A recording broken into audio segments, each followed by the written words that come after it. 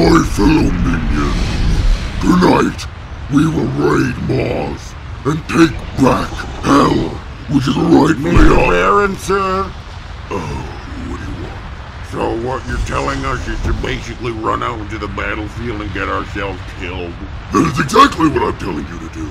So, Basically, why would we kill ourselves willingly? for the sake of winning back Hell,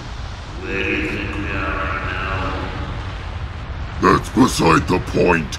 It really isn't. You're telling us to run out and basically kill ourselves. And that way we'll win back Hell. Even if we wanted hell back, why would we want to kill ourselves to win? Strength in numbers. That doesn't make sense. I'd like to see your plan in action. Okay, you know what? In hindsight, maybe I should have listened to you. Yeah, I'm definitely a better leader than you. Hey, don't push your luck. I'm still far bigger than you.